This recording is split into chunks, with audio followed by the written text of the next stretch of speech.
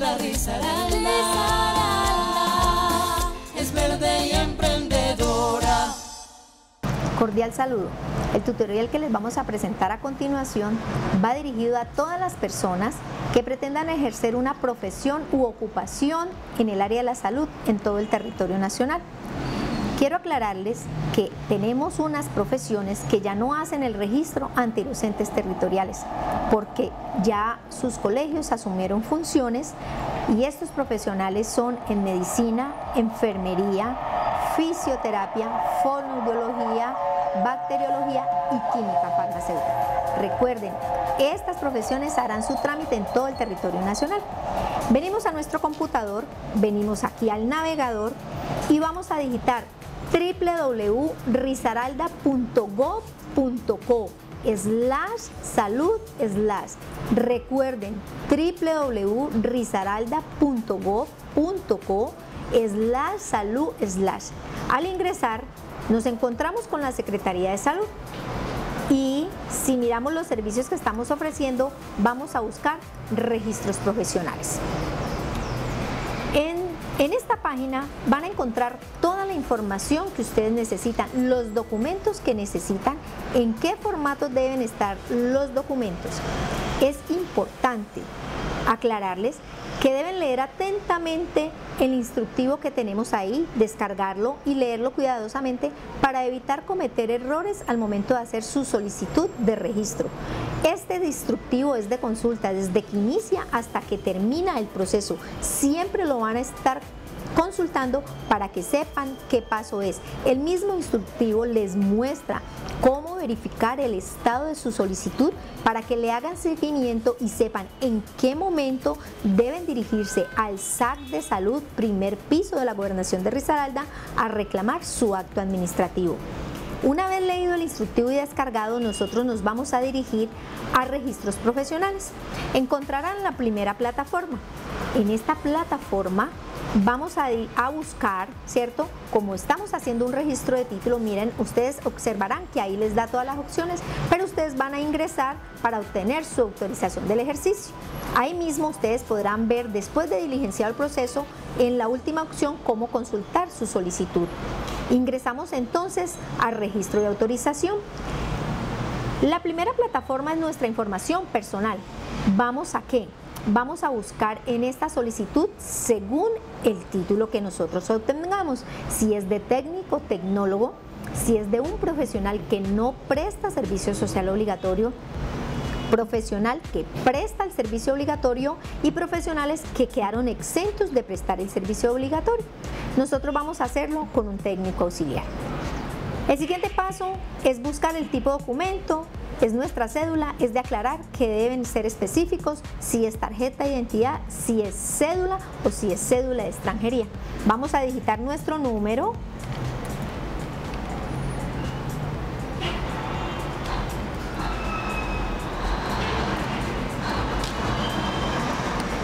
En este momento se carga gran parte de la información. A muchas personas se les carga una gran parte de su información, a otras no. Igual continuamos diligenciando todos los campos que nos hacen falta. Digitamos nuestra, nuestro, la fecha de nacimiento, Seguimos diligenciando todos los campos. Los campos que tienen asterisco son campos obligatorios. El estado civil, si pertenecemos sí o no a una de las etnias ahí mencionadas y si no, siempre vamos a buscar la opción otras etnias. Nuestro departamento de nacimiento, el municipio de nacimiento, diligenciamos toda la información de nuestra residencia, departamento, municipio, residencia, nuestro email o nuestro correo electrónico, como lo quieran llamar,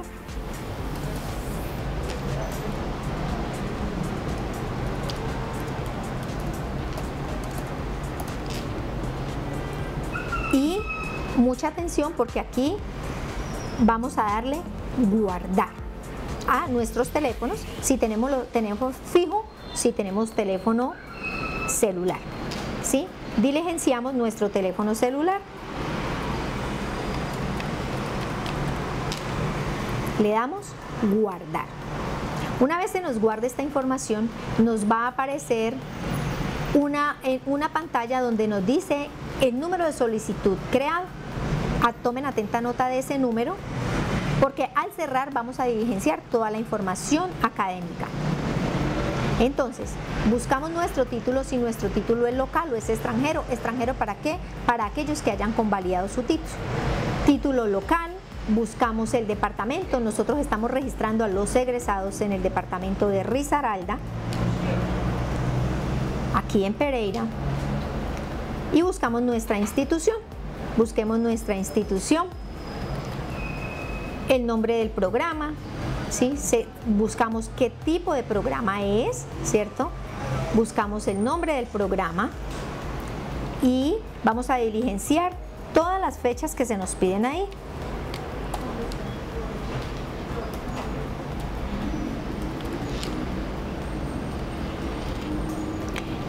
Diligenciamos el número de nuestra acta, el número del folio, el número del libro, si tiene registro nuestro título, si no tiene registro no hay problema, si tiene tomo también. Y la fecha de nuestro título.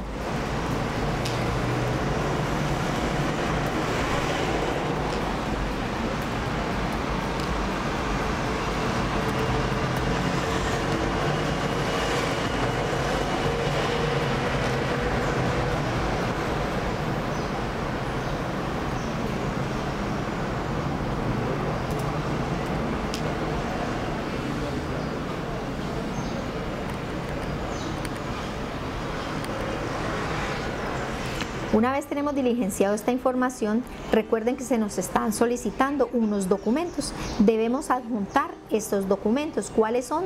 La cédula, nuestra acta nuestro diploma. Procedemos a, diligenciar eh, esta información. Vamos a cargar nuestros documentos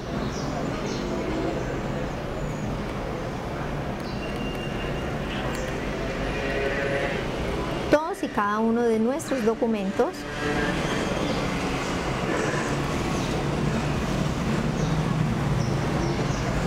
y le damos guardar. Esperamos a que se nos cargue la información, ya se creó su solicitud y ahí en el tutorial, cuando ustedes fueron a ingresar, recuerden www.risaralda.co.co, al, al ingresar a la Secretaría, a registros profesionales, en la opción van a mirar la última opción, verificar el estado de mi solicitud, de ahí le van a hacer seguimiento, el instructivo les está indicando cada paso. Una vez verifiquemos el estado de solicitud, generamos el recibo de pago. El recibo de pago le debe de llegar a su correo. Si no le llega a su correo, en este instructivo le mostramos la forma como usted puede descargar su recibo. Una vez pague, usted también debe de cargar al sistema de la misma forma, verificar el estado de su solicitud, los recibos para que nosotros podamos seguir con el proceso y al final va a mirar usted cuándo está su acto administrativo. Cuando al verificar el estado de su solicitud dice entregado y a continuación le mostramos los documentos que usted debe traer.